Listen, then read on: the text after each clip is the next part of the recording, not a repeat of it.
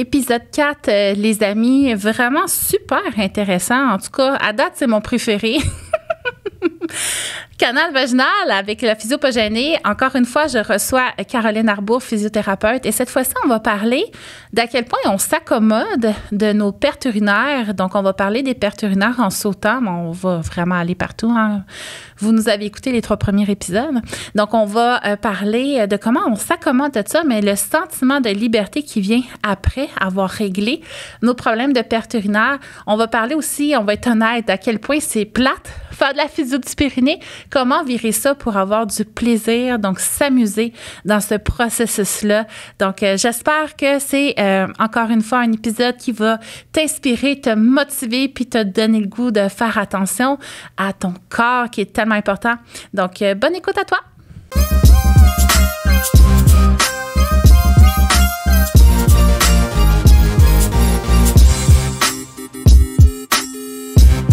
Hey, épisode 3, canal vaginal. Non, 4. Quatre. On est-tu rendu au 4? On est rendu au quatre. Puis c'est ton dernier avec moi, Caro, pour Oui. l'instant.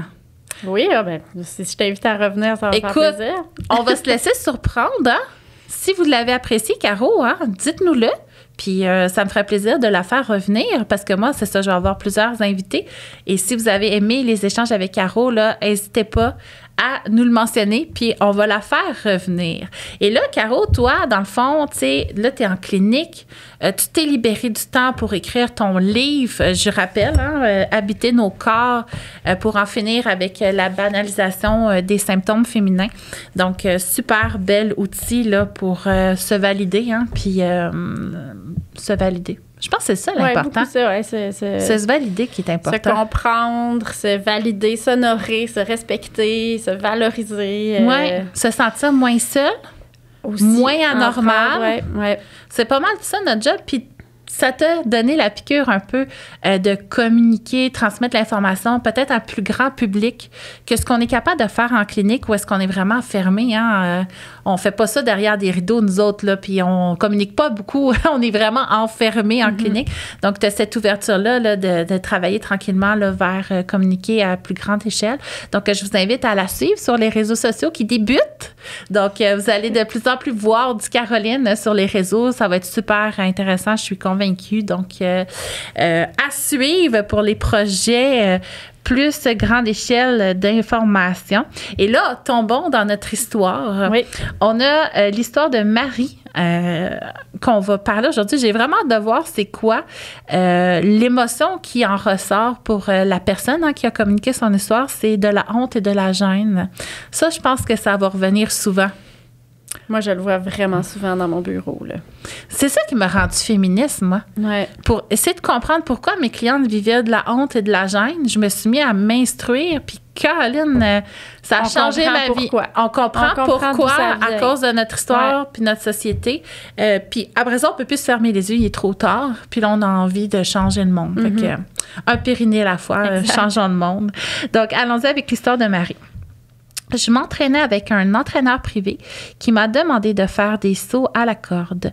Moi qui n'ai jamais eu de problème de fuite urinaire, même quatre ans après mon dernier, à chaque saut, je sentais de l'humidité down there. Orgueilleuse comme je suis, j'ai fait mine de rien en espérant que mes pantalons étaient suffisamment foncés pour pas que ça paraisse. C'était pas une flaque non plus, c'était juste des gouttes. L'entraîneur s'est approché de moi et m'a dit prochaine fois, ton plancher pelvien est pas suffisamment fort, tu peux juste faire des steps. Finalement, mon pantalon, il était peut-être pas assez foncé pour cacher tout ça. Hmm, intéressant. T'en as-tu eu des pertes urinaires, toi? Oui, j'en ai eu. Oui? Oui, oui, oui, j'en ai eu. J'en ai eu euh, pendant quelques années quand même. hein. On, euh, des fois, c'est long se soigner soi-même, même si on est physio-périnéal. On se priorise pas tout le temps. Euh, c'est hyper commun, encore une fois, là, tout ça. là. ça, peut, ça peut être dû à tellement de choses que ça fait que y a- ça, ça peut arriver souvent, mais ça reste pas normal. Oui, je pense que c'est le mot d'ordre. Avec Caroline, euh, c'est commun, mais pas normal. Moi, j'ai ça, les pertes urinaires aussi. Puis moi, mon sport, c'est le crossfit. Puis euh, on saute à la corde au crossfit, puis euh, je pouvais juste pas. Puis je me rappelle, euh, écoute, on n'en parle jamais, puis c'est sûrement super tabou. Mais moi, ce qui me dérangeait le plus des pertes urinaires, c'était l'odeur. Je trouvais ça super euh, gênant de sentir l'urine. Fait que là, il fallait comme tout le temps, je me change pour pas sentir l'urine. Fait que c'était au-delà de je saute puis j'ai des pertes, là, c'était vraiment dans mon quotidien comme physio-pelvienne. Puis on s'entend, moi, dans ma job, des fois, j'ai la tête de la personne pas loin de là. et J'étais tellement gênée, là. effectivement, c'était de la gêne. Puis je me rappelle la journée que j'ai sauté à la corde puis j'ai senti que mon vagin la tenait, mon urine, à sa place. Je me sentais bien. C'est comme si j'avais retrouvé ma liberté. C'est vraiment ce sentiment-là que j'ai euh, ressenti. J'ai retrouvé ma liberté. Enfin, je pouvais faire ce que je veux quand je le veux en ayant confiance parce que mes capacités étaient revenues. Ça a été quand même un gros processus. J'ai même cru que j'étais un cas chirurgical. Donc, imagine-toi, hein, pour qu'une physio en soit rendue là dans son processus de solution. Mais je suis vraiment contente de où ça m'a amené. Ça m'a permis, oui, de comprendre mieux mes clientes, mais aussi de m'outiller à avoir plus que des Kegels. Donc, avoir un peu. Moi, ça a été là que ça a commencé. Tout est plus qu'un Kegel. Un Kegel, c'est juste le nom d'un monsieur. Oui, un gynécologue. Moi, ça, ça me dérange tellement. Ah, ça me dérange, ma fille. Mais, Même le point G, hein? Aussi. C'est un nom de monsieur. Oui, oui, il y a plein, plein de parties de notre corps qui sont réduites à des noms de monsieur ou à des perceptions de monsieur. Mais ça a été euh, nommé scientifiquement dans une époque très misogyne où le corps de la femme était à l'utilité de l'homme. Fait que, même vagin, ça veut dire fourreau qui est étui à épée. Fait que, notre vagin à nous, il n'existe pas. C'est un étui à pénis. Et moi, ça me choque tellement, t'as même pas aidé. Je m'étais même juré je sais plus quand, là, mais j'étais tellement en colère quand j'ai appris ça. Je m'étais dit, je dirais plus jamais le mot vagin. Puis là, mon podcast s'appelle le canal vaginal. faut se le réapproprier, notre vagin. Il est plus qu'un étui à épée. Ben oui. Ben C'est euh, le centre de notre corps, notre stabilité, notre posture, notre confort, notre capacité à sauter à la corde sans perte urinaire. C'est tellement plus qu'un étui. Là. Euh, honorons-les. Puis maintenant, je suis capable de le dire, le mot vagin, même si je trouve que l'origine du mot est épouvantable. Mais sais, la région pelvienne, on appelait ça la région honteuse. Puis dans les livres de médecine, on a encore le bloc honteux. Hein, pour le nerf honteux. Le nerf honteux. Puis des fois, on dit pudendal, tu sais. C'est un synonyme de honte. Comme moins, mais exact, ça veut dire la même chose, mais on, c'est juste qu'on on, s'en rend pas compte si on ne sait pas, là. Ben, fait que c'est pas pour rien hein, que nos clientes ont de la honte en parlant de leur région pelvienne. On l'a nommé comme pour avoir honte finalement. Fait qu'arrêtons d'avoir honte. Nos pertes urinaires, euh, c'est handicapant.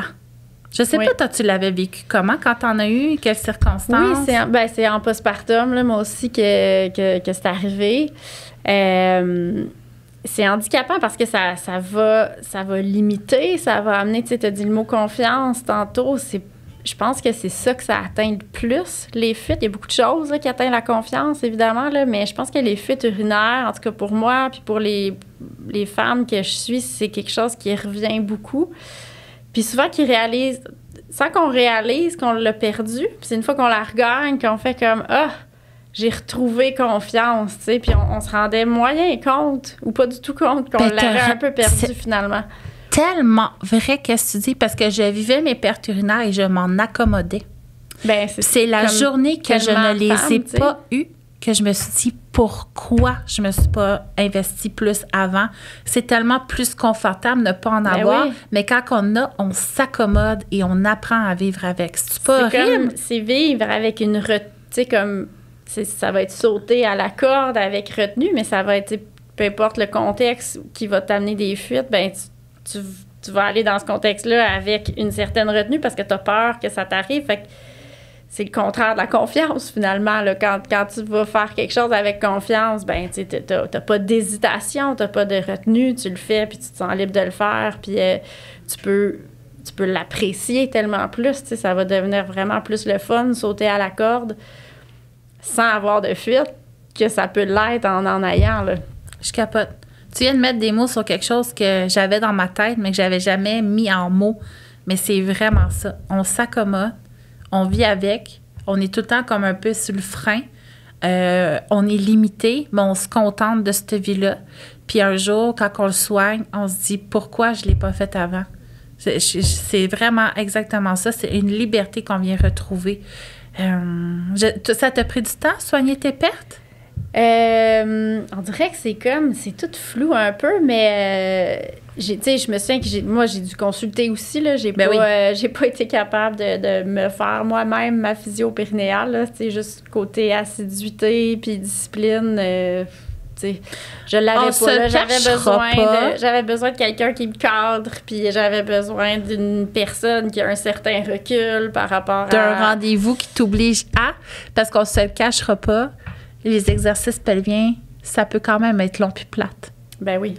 Il faut pas, faut pas se le cacher, là. C'est vraiment chiant. Puis s'investir, tu sais, comme, OK, là, je le fais. C'est, c'est beaucoup, je trouve, en termes d'énergie. Fait qu'il faut trouver le moyen, justement, de rendre ça amusant.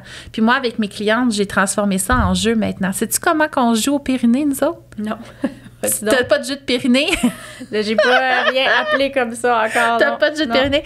C'est un jeu québécois qui m'a inspiré l'idée pour le Pyrénées, euh, un jeu de yoga. Puis je m'excuse, là, je me rappelle pas du nom, mais euh, on était très stressés, nous, le matin, tu sais, avec les quatre enfants. J'étais toute seule à les gérer. Il fallait que j'aille les porter à quatre endroits différents. C'était vraiment le bordel, tu sais, mettez bas, mettez bas, mettez. Comme, j'arrivais à la job, j'étais brûlée, j'étais prête à, aller me coucher pour ma nuit. Fait que je me suis dit, OK, ça n'a pas d'allure, j'ai pas fait des enfants pour que notre vie soit de la merde. Fait que je me suis dit, OK, on va rendre ça doux. Fait que là, on avait acheté le jeu de yoga, puis c'est un dé finalement qu'on brasse, puis ça nous dit quelle carte prendre, puis là, on a une surprise, on a une posture à faire, fait qu'on faisait la posture avant de partir. Fait que là, j'ai transformé, moi, les réadaptations pelviennes en jeu. Fait que ce que je demande à mes clientes, c'est, tu sais, ils les apprennent une à la fois, fait qu'ils rajoutent sur des bâtons de popsicle, ils ont un bocal pour les massages, un bocal pour les étirements, posture de yoga, puis un autre bocal pour les renforcements. Fait que ce qu'ils font, c'est tout le temps une surprise. Fait que c'est un peu plus amusant. Fait que là, ils vont piger. OK, ben écoute, il faut que je me masse la mâchoire aujourd'hui. Fait que là, ils massent leur mâchoire. OK, faut que je fasse la posture du triangle. Je vais faire ma posture du triangle. Puis là, dans le renforcement, ah ben écoute, faut que je renforce mon mini-oui, là, mes muscles, tu sais, peu importe. Fait que ça va devenir un peu une surprise, c'est un peu plus amusant, puis ça donne un peu plus le goût de le faire. Puis moi, c'est comme ça, il a fallu que je fasse ma quatrième réadaptation. Puis je vais être vraiment honnête, là, quand j'ai appris ma quatrième grossesse, qui était tout à fait une surprise, ce qui m'a fait le plus chier, là, c'était que j'aille encore à faire une réadaptation pelvienne. Oui, tu sais, il y a le bébé, les manques de nuit, de, de sommeil. euh, S'il fallait que je me retape tout ça encore. J'étais en colère, là. Mon chum, il a eu quatre enfants sans jamais avoir traversé tous ces défis physiques-là. J'étais vraiment pas contente. Ça a été une grosse... euh, Ben, c'est parce que c'est. Il y a beaucoup d'imp... Je dis, il y a beaucoup d'impuissance. Et oui, il y a, il y a- il y a- plein de pouvoirs qu'on peut se redonner puis investir cette réadaptation-là, mais on subit ces changements-là, qu'on le veuille ou pas, là. mhm. En, en ayant une grossesse, puis en accouchant, puis tout ça.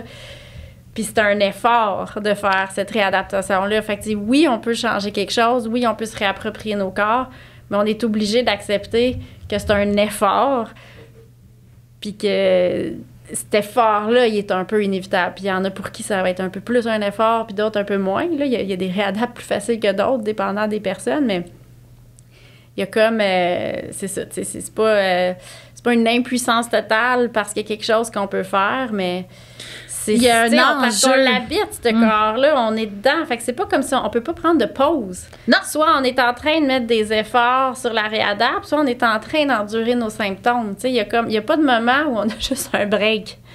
Puis là, puis là ben, on, a, on a le bébé, on a la vie, de, tu sais, je veux dire, y a- on a tout le reste de la, de la vie de performance à, à investir aussi. Fait que je comprends là, le, le découragement de dire, il faut que je recommence encore. tu sais, Ah ouais, à c'est tout ce changement-là qui... qui tu sais, c'est une- exigeant, tu sais, c'est beaucoup d'énergie, une transformation, là. C'est beaucoup d'énergie. faut être soutenu. Puis ça, là, tu vois, tu sais, on les a toutes, hein, les connaissances, puis on a quand même eu besoin d'aide. Ben oui. Puis moi, après mon troisième, c'est là qu'il y a eu la COVID, puis c'est là que j'ai créé mes programmes en ligne. Fait que, tu sais, tout- était là. J'ai fait ma réadapte en faisant mon programme en ligne. Fait que, tu sais, tant qu'à me filmer, je vivais les exercices. Fait que je me suis soignée parce que je me filmais. Tu sais, il a fallu que j'aie quand même cette raison-là. Mais à mon quatrième, ça me tentait pas de refaire Ouais. mon programme. Euh, ça me tentait pas non plus personnellement d'aller en clinique. Puis je sais que c'est la solution pour plusieurs, mais de, tu sais, de me rendre avec le bébé, tu sais, il y avait comme quelque chose qui me bloquait moi personnellement. J'avais besoin d'être entourée j'avais besoin de sentir que je faisais partie d'une équipe, qu'on était toutes là-dedans ensemble. Puis c'est là que j'ai développé les cours de groupe. Puis ça, je sais, je suis pas la seule, j'ai pas inventé ça, ça existe depuis toujours, des cours de groupe du Pyrénées. Mais moi, ça, ça a vraiment fait une différence. Puis c'est pas pour tout le monde. Hein. Il y en a qui commencent d'un cours de groupe euh, super motivés, puis font non, finalement, il faut que j'aille en clinique. Puis il y a des fois, on combine. Bref, c'est intéressant de transformer ça en fonction de notre personnalité, en fonction de l'espace qu'on a aussi dans notre vie, dans notre horaire, euh, dans notre perception euh, de notre gestion, euh, tout ça. c'est le fun d'avoir plusieurs façons de faire, selon moi, mais il faut être honnête, c'est un investissement ça, ça passe pas inaperçu. Ce que j'ai trouvé qui aidait, c'est de faire que c'était une priorité de famille. Donc, de ne pas être toute seule. Hein. On a créé ces enfants-là euh, toutes seules. Hein. Il n'y a personne qui les a créés à part nous. C'est nous qui les a faites. Là. Mais c'est une histoire de famille soutenir la grossesse, soutenir le postpartum et guérir après. Puis ça, il y en a une physio sur le web euh, Instagram, je pense pas que c'est toi, parce que c'est nouveau hein, pour toi, Instagram. Relativement nouveau. Enfin, je pense pas que c'est toi, mais il y a une physio sur le web qui en parlait. Pourquoi ce serait la job, là on parle de, on est très hétéronormatif ici, mais pourquoi ce serait la job de la fille de payer sa physio?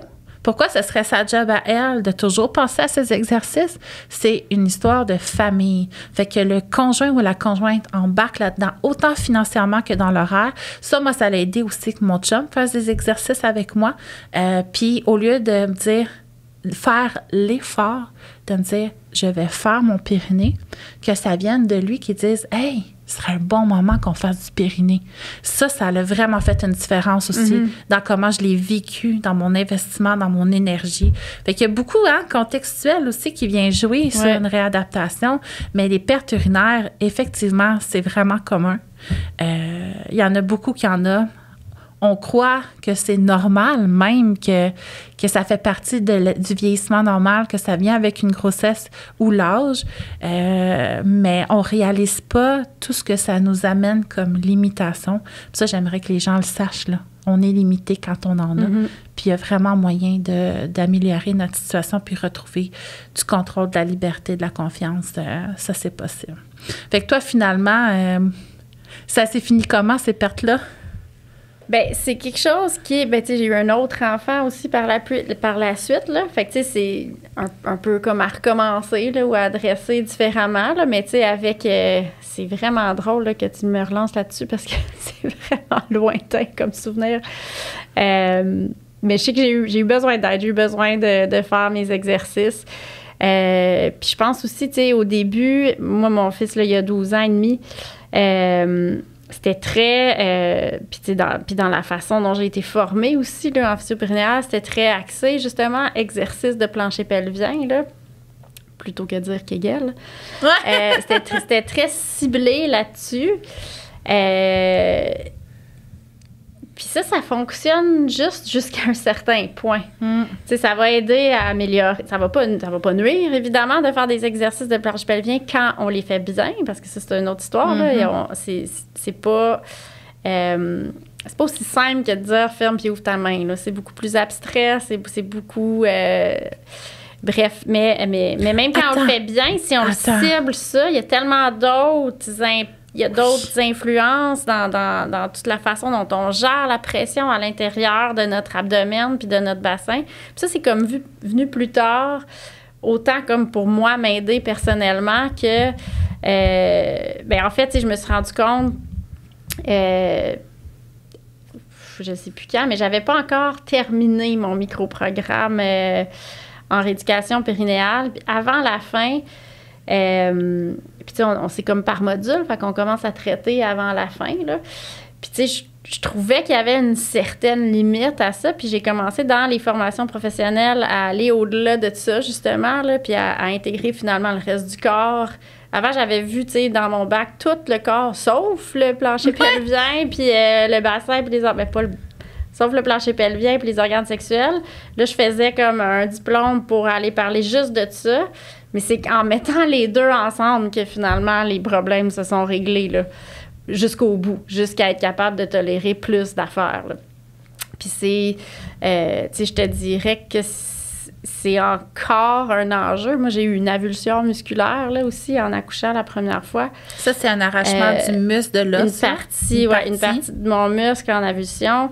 J'ai aussi des barres de métal dans mon dos à cause d'une scoliose. Il y a beaucoup d'enjeux, là, disons, dans mon corps. Puis je pense que le principal enjeu dernièrement, c'est que euh, ben, j'ai perdu de vue euh, habiter mon propre corps, puis ma mise en forme à moi, puis je me suis un petit peu déconditionnée. Fait que, tu sais, au- j'ai j'ai été longtemps correct.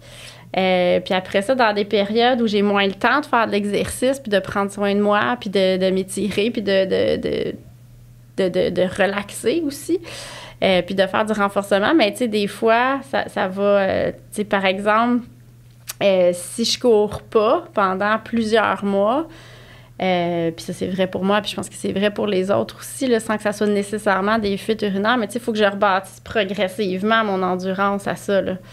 Euh, je peux pas aller courir 10 kil- Je pourrais pas aller courir en ce moment 10 km demain matin sans avoir soit un peu de fuite ou soit mal à quelque part, là, parce que il y a un petit peu trop de tension qui essaye justement de le contenir, là.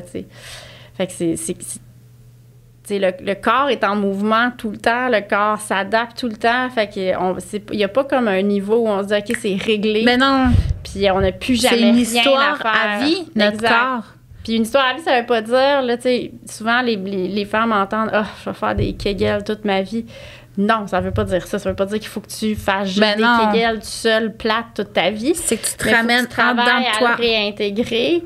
Puis après ça, ben c'est ça. S'il y a des périodes de ta vie où tu es super stressé, puis tu es surchargé physiquement, mentalement dans ta vie, puis tu t'entraînes plus, ben ça se peut que tu aies besoin de réinvestir un petit peu une C'est réadaptation d'être après assez ça. à l'écoute pour le sentir. Et là, mon stress a un effet sur ma région pelvienne. Fait que c'est d'explorer, de savoir qu'est-ce qui est notre normal finalement à nous. Et puis là, j'avais envie de dire, tu sais, c'est quoi une contraction mal faite du plancher pelvien? Il y a des signes extérieurs qui ne trompent pas. Quand on vient là, vous pouvez l'essayer à la maison, de simplement inspirer, puis en soufflant, venir retenir les gaz et les urines. Que ça, c'est une commande assez simple pour retenir euh, notre plancher pelvien. On va sentir notre vagin, notre anus se serrer, essayer de relever un petit peu vers notre cœur. Et une façon de savoir qu'on n'est pas en train de bien faire, ben on va sentir peut-être euh, notre souffle changer. Donc, notre respiration, là, euh, devenir peut-être un peu incoordonnée. On peut sentir aussi qu'on se rapetisse dans notre dos. Donc là, on va être dans des compensations, euh, que nos fesses contractent, que nos cuisses contractent. Je dis pas que les cuisses et les fesses, c'est des ennemis du plancher pelvien. On va les, rendre amis au plancher pelvien pour qu'ils s'aident entre eux pour bien fonctionner. Mais euh, si ta simple contraction pelvienne, tu viens serrer les cuisses, serrer les fesses, ça, c'est une forme de compensation aussi. Donc, tu n'es pas suffisamment précise. Dans la région pelvienne, je trouve que c'est un gros défi hein, pour les filles performantes, justement, c'est de réaliser que la précision nous amène plus de gains de confort que l'intensité.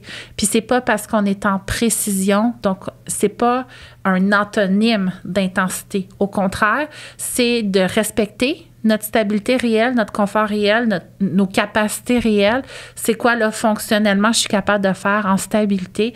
Puis tranquillement, là, ça va évoluer plus rapidement que si on est finalement dans cette intensité-là. Fait que ça, j'avais envie de le partager parce que c'est un mindset que mes clientes ont souvent.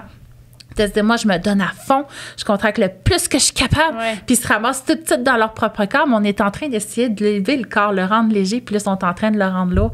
Fait que c'est euh, la précision, de la connexion, de l'écoute. C'est vraiment intéressant. C'est, moi, je trouve que c'est passionnant. Je, je sais que tu le trouves aussi. Puis je sais qu'on n'est pas très comprise, OK, à ce niveau-là. Ouais. Mais moi, je tripe quand une de mes clientes réalise enfin euh, un petit cercle dans leur corps d'interdépendance ou un petit cercle de- vicieux. Euh, c'est vraiment tripant. C'est, beau. Notre corps, il mérite cette attention-là. Là. Mhm. Puis, euh, tu parlais là, de, de, comme de contraction trop forte, là, un peu tout ou rien. Là, ça, je trouve que c'est quelque chose qu'on voit souvent. Puis si on revient à Marie, je pense. On était-tu avec Marie? Euh, On est pas. était avec Marie. faut vraiment que vous mettiez des noms drôles pour euh, pas qu'on oublie. Là. Je me trompe de Marie. nom, mais tu sais, souvent, euh, tu sais, là, elle a dit qu'elle n'a jamais eu de fuite avant, puis euh, la saute, mais tu sais, est-ce que, qu'est-ce qu'elle a fait, tu sais, dans les derniers mois, dans les dernières années? Est-ce qu'elle a continué de se déconditionner peut-être depuis la naissance de ses enfants? Tu sais, on dit souvent qu'avoir des enfants, c'est sportif. Mais c'est pas nécessairement sportif. Des fois, c'est juste une charge. Mhm. Il faut toujours que tu soulèves tes enfants, que, tu que tu t'en occupes, mais que tu n'as pas que t'as pas la force nécessaire pour le faire comme il faut, tu es constamment en train de te surcharger, ton corps est fatigué.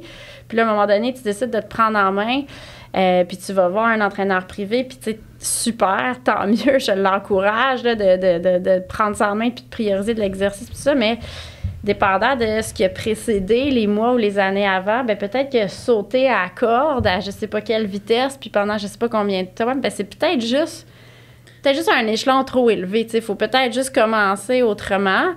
Euh, aussi, souvent, ce qui arrive, c'est que si, tu sais, si elle, elle dit qu'elle n'a jamais eu de fuite, fait que si elle n'en a jamais eu avant, puis que le whoop, il y a comme une, petite- une première petite fuite, ce qu'elle risque de faire, c'est justement aller vers ce que tu décris, là, de contracter comme de aïe, aïe, je veux pas que ça arrive encore, fait que là, elle contracte fort, fort, fort. Mais nos muscles ont besoin d'absorber autant que nos genoux, que nos pieds, que nos hanches. Tu sais, c'est tout notre corps qu'il faut qu'il absorbe ce rebond-là du saut. Puis le plancher pelvien, il en fait partie. Fait que s'il est super tendu, ben il sera pas capable de rien absorber. Et puis ça, Fait c'est que là, cette important. pression-là, cet impact-là, ben si tout est tendu, ben c'est- ça peut Parce être la vessie ou autre plancher chose. pelvien réagit, il va suivre, c'est une coordination. Exact. C'est pas une fixation. Puis ça, je trouve ça vraiment pertinent de le dire parce que souvent, c'est ce qu'ils vont. euh, même moi, en début de carrière, c'est ce que j'enseignais, viens juste contracter, tu sais, mais finalement, c'est de décortiquer ce mouvement-là. Puis j'avais envie, tu sais, parce que c'est vraiment intéressant, tu sais, dans notre quotidien, qu'est-ce qui vient affaiblir notre plancher pelvien? Puis moi, j'ai réalisé que j'avais souvent des postures très paresseuses. Par exemple, en cuisine, euh, j'allais toujours m'accoter le coin du ventre sur le bord de mon comptoir pour être comme un peu à côté. à côté. Fait que j'étais tout le temps en asymétrie à côté. Tu sais, c'était finalement lourd. Fait que j'essayais de pas contracter, donc avoir une posture debout pas forçante, mais j'étais en train de nuire à ma région pelvienne. Puis ça, je trouve ça intéressant de savoir parce que peut-être dans un quotidien, tu sais, j'aurais pas eu de fuite parce que j'étais en train de râper du fromage, mais c'est quand même en train de me dire, OK, toi, c'est pas ta première stratégie d'être dans une posture soutenue. Ta première stratégie, c'est de trouver le moyen de tricher. Fait que c'est sûr que rendu à sauter, je vais pas choisir des stratégies parce que déjà, dans mon quotidien, je sens pas que j'ai ces compétences-là ou cette intuition-là ou ce chemin-là de préparer. Je vais sûrement choisir un chemin de compensation qui va m'amener des symptômes. Puis là, on parle de perte urinaire, mais ça peut être un point entre les omoplates, ça peut être Exact. Ça Des peut, douleurs euh, aux genoux, Ça va aller pubis, quelque dos. part. tu sais. Si- Quelque part. Si cet impact-là n'est pas absorbé par l'ensemble du corps, puis qu'il y en a qui ne l'absorbent pas assez, mais il y en a qui vont l'absorber trop. L'impact demeure le même. Là, fait que... Puis après ça, ben, c'est ça, dans, dans comment on se place pour sauter, ça va jouer aussi sur l'impact. Tu sais, Il y, a- il y a tellement d'éléments à, à considérer, mais encore une fois, c'est commun, c'est pas normal. Euh, je pense pas qu'il faut qu'elle arrête nécessairement de s'entraîner avec son entraîneur privé, mais c'est sûr que euh, d'avoir un input de quelqu'un qui, qui, qui s'y connaît plus précisément là-dedans, ça peut guider. Moi, souvent, je demande à mes clientes quand ils, quand ils ont ça, là, quand ils ont, parce que c'est pas tout le monde qui a un entraîneur privé, là, mais quand ils en ont un, programme d'exercice qui vient d'ailleurs, ou des fois parce que euh, des fois, ils vont voir une ostéopathe qui leur a donné des exercices ou euh, ils suivent tel programme en ligne, euh, tu Beachbody, mettons, il y en a plusieurs qui font ça, peu importe. C'est souvent ce que je vais faire, plutôt que de leur donner un autre programme d'exercice, c'est que je vais leur donner, je vais leur demander d'amener leur programme d'exercice, puis là, je vais dire, tout ce qu'on va faire, c'est comme aller aller peut-être modifier certaines choses sur comment tu fais. Tu sais, si t'aimes ça t'entraîner avec ton entraîneur, ben on va si c'est ça que t'aimes puis que t'as le goût de faire, faut que ça reste ça la priorité. Puis on va s'arranger pour que cet entraînement-là fonctionne puis que tu le fasses sans symptômes. Puis là, ben lui, il pourra t'amener puis progresser ça au fur et à mesure que ton, de ce que ton corps tolère, tu. J'ai envie de dire Amen, mais j'essaie de ne pas avoir de référence religieuse quand je parle. Estique que c'est ça? Puis j'ai une cliente justement qui me disait Moi, j'adore courir, mais j'ai des pertes en courant. Mais il y a tellement de bienfaits. Puis moi, fut un temps, j'allais être très rigide puis intransigeante parce que dans ma tête, il n'y avait rien de plus important. Si tu as des symptômes pelviens, t'arrêtes tout. Tu sais, c'était super noir ou blanc. Je suis devenue beaucoup plus grise en vieillissant, puis je suis encore noir et blanc sur plein d'affaires. Je veux dire, je n'ai pas fini là, de m'améliorer comme humaine. Mais ce que j'ai réalisé, c'est que dans le fond, il y a d'autres aspects. Comment qu'on peut faire ton activité avec plus de confort, puis on va noter finalement, on va utiliser notre réadaptation euh, pour favoriser cette activité-là, puis on va noter les changements l'impact qu'on a ensemble sur ton activité, sur ton évolution. Puis là, ça devient plus concret. Fait que moi, j'ai longtemps empêché. Puis ça, je sais qu'il y a encore des physios qui font ça. Puis je veux dire, ça dépend de la personne devant nous. Ça dépend. Il y a des moments où est-ce qu'on doit vraiment un repos complet pour plein de pathologies. Mais j'ai, longtemps fait ça. Puis là, je le fais plus maintenant. Maintenant, je vais plutôt essayer, comme tu dis, euh, d'introduire la réadaptation aux activités, au plaisir, à ce qui stimule ma cliente pour euh, ça va faire qu'elle va adhérer plus. Exact, c'est ça. Le but, c'est c'est la qu'on le fasse. Là, Si euh, toi, tu fais du CrossFit, là, si, euh, si je te demande d'aller faire du ballet puis que tu ailles ça, t'iras pas. J'adore le ballet. ben, c'est peut-être pas un bon exemple dans ce Spinning. si tu me dis spinning, là, tu me perds. Ben, c'est ça, si ta thérapeute te dit, ah, c'est spinning la solution. Oh mon Dieu. C'est peut-être vrai que ça serait un bon sport, mais si tu ça, t'iras pas, ou en tout cas, t'iras pas de façon euh, assidue, tu vas finir par abandonner. Il mm. faut, faut, faut que ça commence par un objectif que la personne a envie d'atteindre, sinon ça sert absolument à rien. Là. Moi, je pense qu'il faut qu'on joue. On a arrêté de jouer. Il faut qu'on s'amuse. On l'oublie. puis on peut s'amuser dans une réadaptation. On peut amener ça amusant. Puis je pense que c'est ça qui fait. Euh, c'est pas de la culpabilité. Tu sais, si je le vois souvent, mes clients se dire, aïe, je m'en veux, cette semaine, je n'ai moins fait. Je suis comme, aïe, c'est pas comme ça, je veux que tu te sentes. Tu sais, quand tu fais du Pyrénées, je te dis, aïe, ça me fait du bien, je prends soin de moi, je le sens, mon énergie. Après, je sens ma confiance. Tu sais, il faut que ce soit agréable. Tu n'es pas en train de te nuire, tu es en train de te faire du bien. Il faut que ce soit là-dedans. Fait si tu tombes dans la culpabilité, puis dans la pression encore de performance, quand on n'est pas à la bonne place. Moi, je pense, si on ramenait tout au jeu, euh, on aurait plus de plaisir. Ce serait un processus beaucoup plus doux, beaucoup plus agréable. Mm-hmm. Puis je pense que ce serait peut-être un peu moins... Euh, difficile. Puis ça, tu sais, de mes clientes vraiment qui ont été à fond dans les routines de soins, euh, tu sais, avec les petits bâtons, le jet de Pyrénées, euh, ils s'en passent plus maintenant. Parce qu'ils ont découvert que de se prioriser hein, dans leur horaire, ça faisait que tout le reste allait mieux par après. Euh, puis maintenant, c'est devenu une priorité. Puis leur enfant, tu sais, ils voient ça. Ils voient leur mère prioriser ça ils, jouent. Hein. Moi, ils m'en envoient des photos là, de leur enfant embarqué par-dessus elle. Puis euh, pour eux, ces enfants-là qui grandissent en voyant, tu sais, maman. Puis là, je veux pas mettre de la pression de performance parce que ça peut virer en pression, qu'est-ce que je vais dire. Mais là, j'essaie de pas faire ça. Mais ce que je veux dire, c'est que ces enfants-là vont pas se dire, OK, prendre soin de mon corps, c'est quand j'ai le temps puis l'énergie. Fait qu'on verra quand, tu sais. Ces enfants-là vont se dire, OK, prendre soin de mon corps, c'est plus important qu'arriver à l'heure à garderie. C'est plus important qu'arriver à l'heure à job parce que ça l'est. Mhm. Fait qu'eux autres, ça va être une priorité, top de la liste. Puis ça va être vraiment génial. J'ai hâte de voir cette génération-là aller. Ça va être plus doux. En tout cas, je leur, on leur souhaite que ce soit plus doux. Ça, c'est sûr. Un peu moins de culpabilité, là, ça ferait pas de tort à personne. Ah ouais, on fait juste notre possible, puis il faut juste s'amuser plus. On s'amuse pas assez. Amusons-nous. On finit tout ça de même? C'est une bonne, euh, une bonne note On finale, ça comme ça? On souhaite ça à tous. on cherche le plaisir plutôt que de fuir le reste. On cherche à aller vers le plaisir. Oui, dans le plaisir.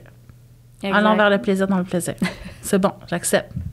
Merci Caro d'avoir été là avec ben, moi. Ça me fait tellement plaisir, c'était super le fun. Merci de m'avoir invité. Cool. Fait qu'on verra les réactions du monde, euh, qu'est-ce que ça donne, puis on échange avec eux, puis on voit si tu reviens, euh, si le cœur t'en dit, t'es la bienvenue. Assurément, fais-moi signe. Merci encore. Merci.